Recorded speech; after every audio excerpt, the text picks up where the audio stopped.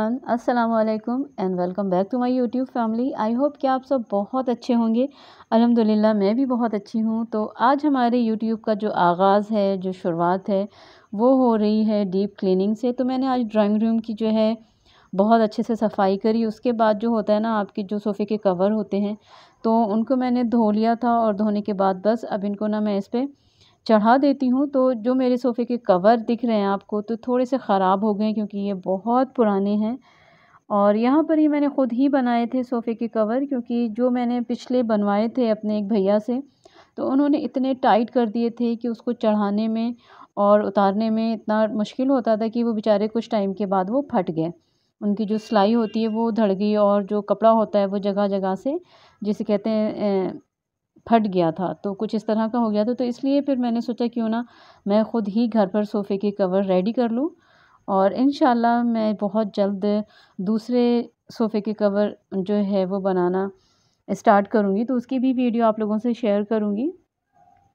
तो यहाँ पर आप लोगों ने देखा होगा, जो सेंट्रल टेबल पे एक छोटा सा बॉक्स रखा है तो ये मैंने अमेज़ोन से मंगवाया था।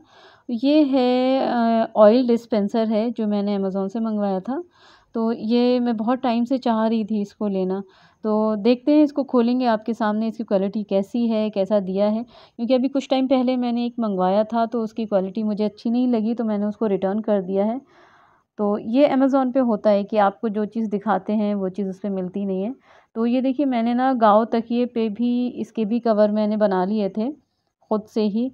और पूरा सेट हो गया है तो चढ़ने के बाद ये बहुत अच्छे लगते हैं। पूरा एकदम यूनिक सा लगता है ये। और इसमें आपके सोफ़े जो हैं, वो भी बचे रहते हैं।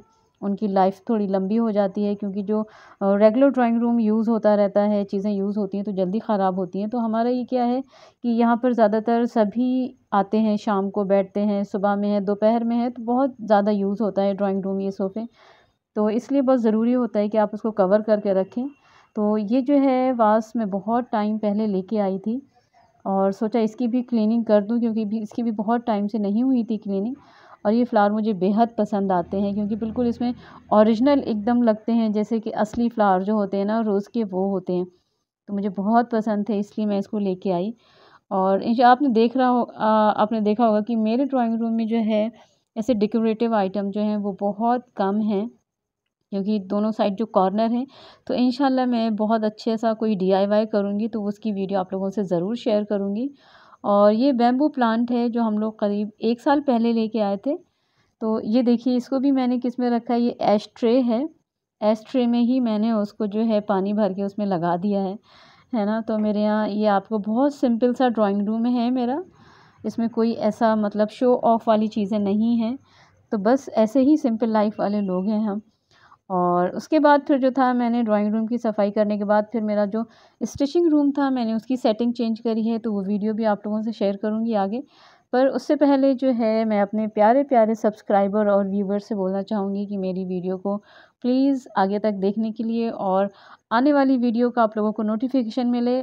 उसके लिए आप लोगों को करना होगा कि मेरी वीडियो को सब्सक्राइब करें और बेल आइकन को ऑल नोटिफिकेशन पे सेट कर दें और हाँ मुझे कमेंट करके ज़रूर बताएँ कि आप लोगों को ये मेरी वीडियोस कैसी लग रही हैं। तो चलें, जल्दी से जो है, बस अब हम जो है, ये मेरे चीचू हैं जो कि परेशान कर रहे थे मुझे बहुत, और यहाँ पर ये देखिए, कितना अच्छा सा लुक आ रहा है। ये टीवी के सामने एक छोटा सा प्लांट है जो बहुत प्यारा लगता है। और अब इसकी कर लेते हैं हम अनबॉक्सिंग जो हमने मंगवाया था। ये ऑयल डिस्पेंसर है स्टील का मंगवाया था मैंने।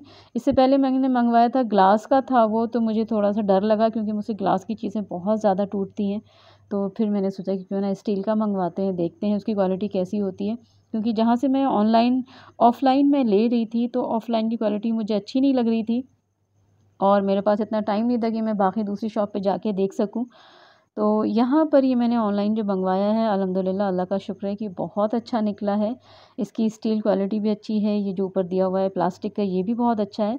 और सबसे अच्छी बात मुझे इसकी ये लगी कि आप जब भी इसमें से ऑयल निकालेंगे तो ये जो बह के नीचे नहीं आएगा, ये वापस से अंदर, एक जो उसमें होल दिया, वहाँ से अंदर ये चला जाएगा।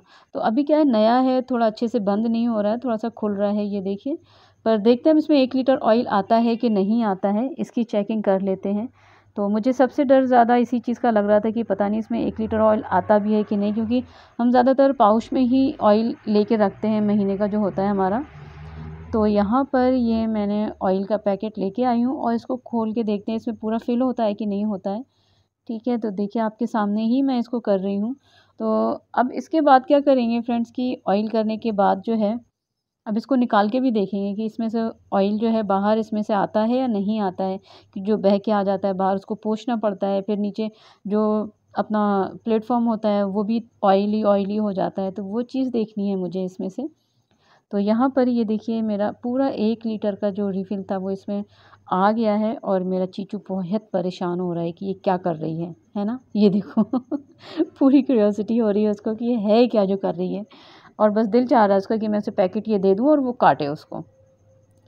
तो ये जो है यहाँ से इसका जो एक्सेस ऑयल होता है ये वापस अंदर चला जाएगा, जो भी है। तो चलिए इसको पहले ट्राई करके देखते हैं हम कि इसमें से ऑयल निकालने के बाद वापस बहता है बाहर की तरफ़ या नहीं आता है। तो अल्लाह का शुक्र है इसमें पूरा एक लीटर आराम से आ गया है तेल। तो मुझे बहुत अच्छा लगा ये। तो यहाँ पर ये देखिए मैं दाल बघारने जा रही थी, सोचा यहीं पर ही आपको इसका डेमो भी दे दूँ। तो ये मुझे बहुत अच्छा लगा सच में।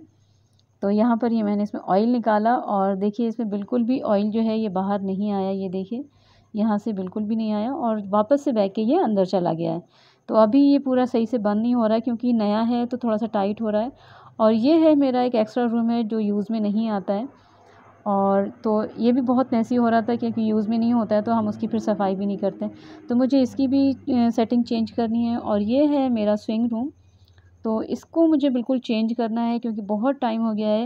ये पहले स्टोर था तो स्टोर रूम से मैंने इसको अपना स्विंग रूम बनाया है, सब सामान हटाने के बाद यहाँ से। तो ये सारी चीज़ें अभी हम आप लोगों को कैसे दिखा रहे हैं, पर मैंने क्या है कि इसको सेटिंग करते वक्त मैंने वीडियो इसकी बिल्कुल भी नहीं बनाई है।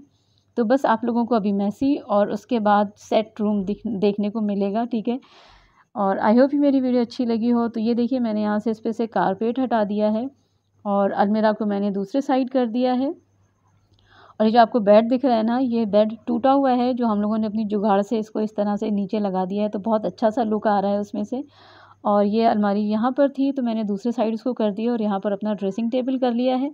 तो जहाँ पर ड्रेसिंग टेबल पहले था मेरा तो ये डोर जो है मेरा जो स्टडी है, यानी कि जो मेरा स्विंग रूम है, पहले वो स्टडी थी, फिर वो स्टोर रूम हुआ स्टोर से, अब मेरा वो स्विंग रूम हो गया है। तो सीधे यहाँ से गेट खुलता है। तो ये देखिए जो अंदर एक ये रखा हुआ था छोटी सी टेबल तो मैंने उसको यहाँ पर बाहर रख दिया है और उस पर छोटे छोटे से अपने प्लांट्स रख दिए हैं मनी प्लांट के। और ये देखिए हमारा स्विंग रूम बिल्कुल चेंज हो चुका है। तो मैंने कारपेट जो दूसरे कमरे में था, वो इसमें यहाँ पर डाल दिया और ये बेड है और ये चेयर है तो उसके ऊपर मैंने चादर इसलिए डाली है क्योंकि धूल आती है तो वो चेयर गंदी हो जाती है क्योंकि यूज़ में होती नहीं है। तो इसलिए ज़्यादा जल्दी गंदी होती है। और इन फिर ये जो सोफ़े रखे हैं टूटे हुए, इनका भी कुछ ना करेंगे डीआईवाई कुछ ना कुछ तो करेंगे, उसकी वीडियो भी आप लोगों से शेयर करेंगे। तो मैंने टेबल अपनी इस साइड विंडो के साइड कर दी है। तो ये पूरा एक जो एक बॉक्स जैसा था विंडो के पास तो ये पूरा सेट हो गया है मेरे सिलाई के लिए। और ये देखिए कितना अच्छा लग रहा है, बिल्कुल क्लीन हो गया है तो यहाँ पर सिलाई करने में मज़ा आता है। और ये रहा मेरा दूसरा रूम तो ये भी अच्छा लग रहा है अब मुझे। आई होप मेरी वीडियो अच्छी लगी हो तो प्लीज़ लाइक करें, शेयर करें।